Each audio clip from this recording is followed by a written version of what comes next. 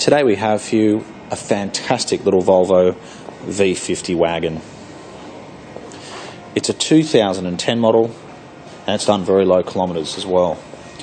My name is Philip Tarrant and I'm going to have a chat to you about this lovely little car here today. It's white in colour with charcoal interior. It's done 57,000 kilometres from new. The car is in particularly good condition. As you can imagine, for a family car, these little Volvo wagons tend to get knocked around. This is not one of those cars. In fact, looking down the side, it seems to be very, very straight, free from any marks or dents or scratches. It's got tinted windows. I mean, really, for me, if you're looking for a family car under 20,000, which is reliable, safe, European, and looks fantastic, you really can't go past one of these V50s. It's got the 2.4 litre engine, there's no turbos or anything like that.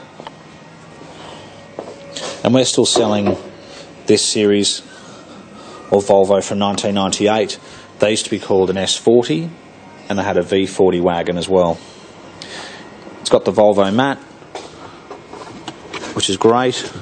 It's got the net at the back there if you've got things in the in the back here. And it's got the retractable as well.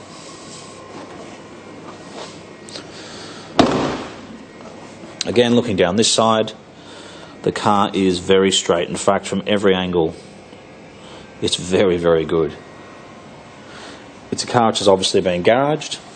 It does have a very good service history to it, as you will see in the photos.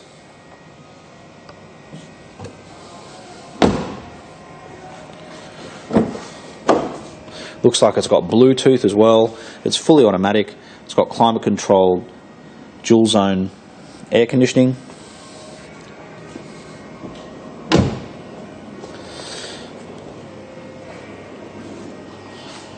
And it's also got low kilometres. So for me, this is a car which ticks all the boxes.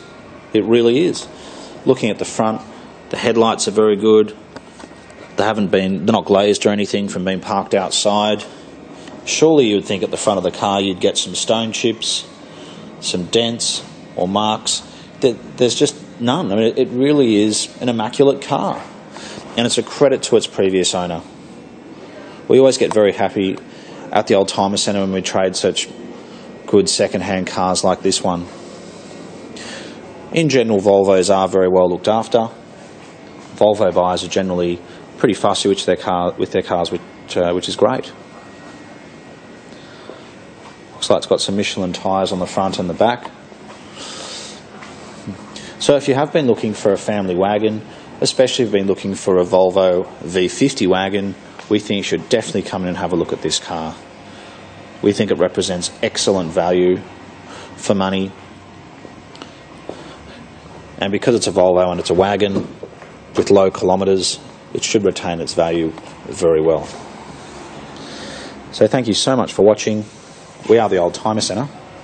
We specialise in European cars. We're located in Marrickville and we've got about 70 cars in stock at the present time.